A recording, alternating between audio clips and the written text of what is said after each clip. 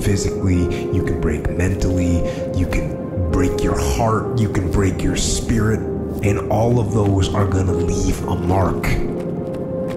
But the mark that they leave can be the mark of victory or it can be the mark of defeat.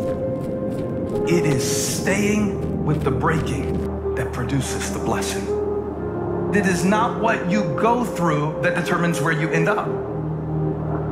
It's who you listen to. Because I think right now, you are walking through a valley between two voices.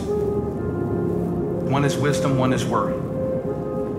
One is gratitude, one is grumbling. One is blame, one is faith. Because every time you break, and in every way that you break, while it's a chance for you to give up and for you to fall apart, but there's also opportunity.